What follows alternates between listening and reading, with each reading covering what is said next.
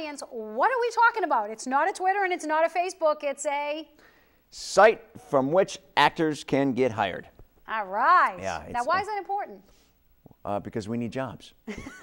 actors are always uh, we're, we're interviewing basically uh, 30 50 times a year Yep. Um, unlike people who interview and get a job and stay there for a couple of years we interview get the job and then have to go interview again to get the job That's right. and then have to interview again to get the job so uh, it's very important to be able to have a, a venue newenglandactor.com Yeah.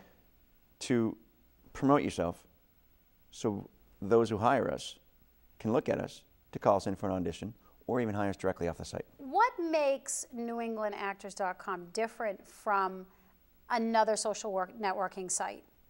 I don't use it as a networking site. When I uh, approve someone who applies, I say, please don't use this to be social. Go use Facebook or MySpace or Twitter, da da da. Don't use it. You can you can say hi to other actors, but it's to promote the professionalism of the actor and the other actors. You want to. I've taken all the features this social network has, and manipulate it so that when someone lands on the page, they can look at your voiceover demo. Yeah. They can let your uh, your acting reel if you have one. You can look at your resume and your profile to say, I'd like to call this actor in for an audition, or I'd like to hire this actor.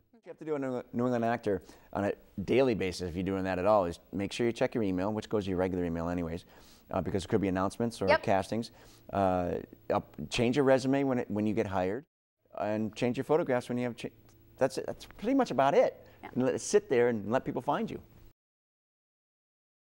Uh, If you're a professional actor, prove it.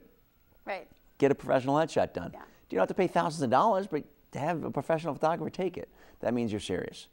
Yeah. And that means when someone looks at your page, they're saying this person is a real actor or wants to be a real actor. Yep. I heard one casting agent tell me every six seconds, the actor should change from one character to the next, whether it's a voiceover reel or an acting reel, a video reel. It's a new way of promoting the actor. So when someone lands on the page, the profile page, they can sit there and go, "Oh, here's the person's video slate. Let's, oh, oh, he speaks five languages fluently and has a dog named Boo Boo." I think they just like to see how does what makes this person tick, and if mm-hmm. they had, if they bring out in the video slate something that happened to them in their past, it might create an emotional response, and the mm-hmm. act, the director might go, "That's the guy I want." Right. You know, Thank you for being on. it was my pleasure.